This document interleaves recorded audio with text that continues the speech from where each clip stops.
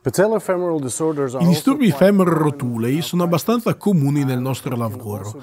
Possono essere collegati a delle tensioni e dei problemi con la catena miofasciale, quando non c'è sufficiente movimento fra gli strati. In genere, posizioniamo il paziente in una posizione di allungamento anteriore in modo che anche insieme alla catena anteriore profonda siano allungate e in tensione.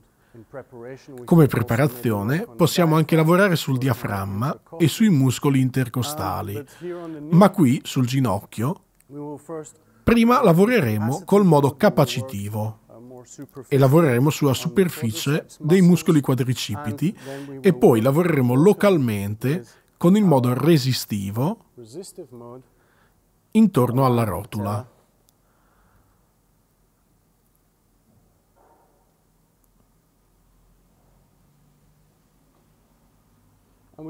Possiamo anche mobilizzare la rotula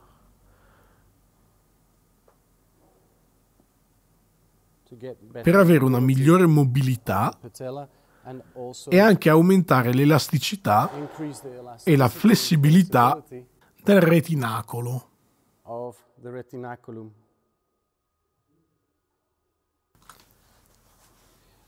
È anche possibile collocare la placca passiva in una posizione differente.